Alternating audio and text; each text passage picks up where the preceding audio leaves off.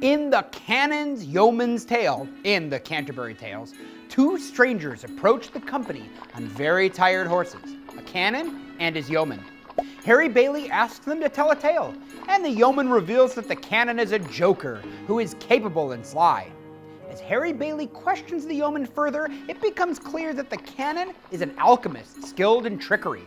The canon, overhearing his yeoman giving away so many secrets, flees.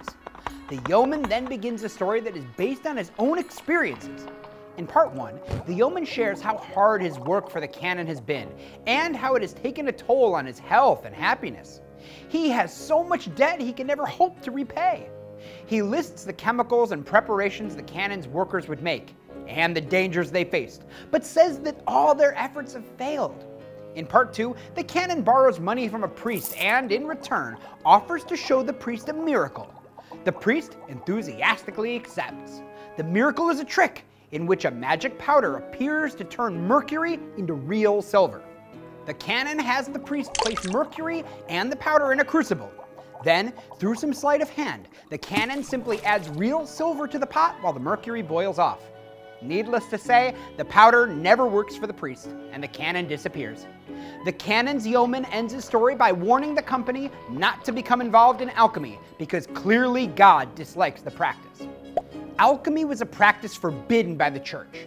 Alchemists were supposedly trying to achieve transmutation with a mysterious substance they sought called the Philosopher's Stone that could transform common metals into gold.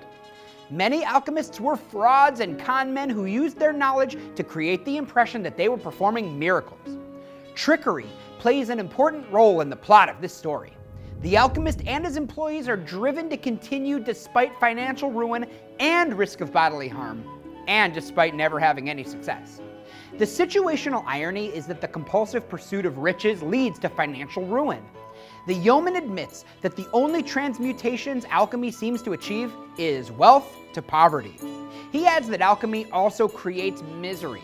The yeoman says that alchemists have a pungent brimstone smell and describes the hot fires and dangerous explosions that fill their working hours.